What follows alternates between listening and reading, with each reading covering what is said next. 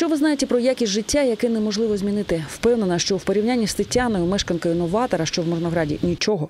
Одинока пані живе 17 років в квартирі на верхньому поверсі під дахом, який весь час протікає. Началось это еще с 2005 года. Я была на приеме, вот у меня есть заявление. Міська рада звонила на горячую линию, давали ответы.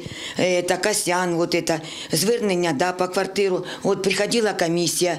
17-річне обстеження це купа листувань, документувань та протікаючої стелі, тріснутих стін і вогкості у квартирі. Это дождевая вода, Наташа. Вот, я собирала. Я ночи, как был большой дождь, Наташенька, я не спала, мне до слез. Я говорю, не буду я эту воду собирать, зачем она мне надо? Пусть соседи затапливают, но я что же по-человечески должна поступать. Вот вода. Спасибо, хоть туалет промой. Зараз, за словами пані Тетяни, майже всі розетки вийшли з ладу. Тому приготувати їжу вона може тільки у залі, де кілька днів тому впала стеля. Квартира не приватизована. Будинок 13 по вулиці Мухамадієва перебуває в ОСББ. Зі слів пані Тетяни, ним керує жінка, яка офіційно свій статус не оформила.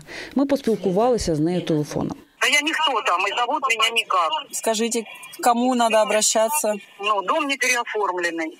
На меня он не сделан. Ни на кого не надо обращаться. Горисполком выделил шифер. Все, я по телефону не могу разговаривать. Когда, До свидания, когда вы извините. сможете?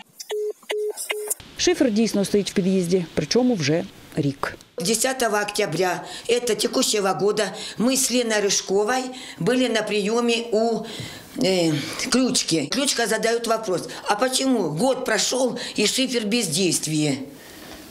Она молчит, потому что, а почему не знаем. За словами пані Тетяни, для того, щоб шифер перебрався на крівлю, потрібна вишка. Її знайшов голова Мирноградської військової адміністрації Юрій Ключка. Мы только 10 октября были, 11 я ее встречаю, она идет веселая. Ключка сказал э, 500 гривен в час. Я говорю, Лена, а ты эти деньги можешь снять? Нету. Карточку, она, ее, она юридически не оформлена. Вот такие дела. Сама пані Тетяна не може заплатити за послугу вишки, а жінка, що ніби керує ОСББ, не має доступу до грошей будинку. Тож, можливо, цей сюжет допоможе звернути увагу на проблему, і хтось нарешті розрубає цей Гордіїв вузол 17-річної давнини.